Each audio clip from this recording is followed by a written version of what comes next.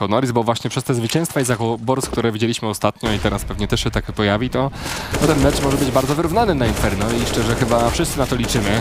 Shane a jeszcze sobie świetnie radzi pod bombsite MB, czy z karabinu, czy z pistoletu. Cztery zdobyte fragi, co istotne dla Izakobors, bez straty po ich stronie. No dokładnie, ta obrona na bombsite B teraz